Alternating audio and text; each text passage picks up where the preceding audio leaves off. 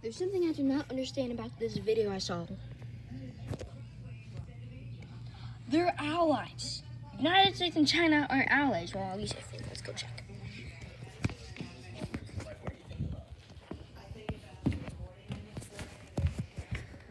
Hey Google. Are the China are China and United States uh, wait.